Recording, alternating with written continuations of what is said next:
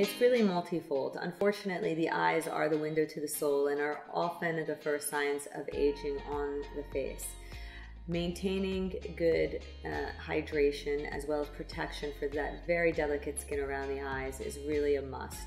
And after that point, there are different non-surgical treatments that can be done, whether it's radio frequency, maybe a little bit of injection of botulinum toxin or an injection of hyaluronic acid. There are some very effective non-surgical treatments.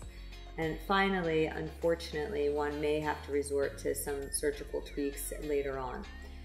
I do think generally for mature skin, it's really important to help stimulate as much collagen as possible and to have ingredients in your skincare that help pr promote collagen synthesis uh, as well as turnover.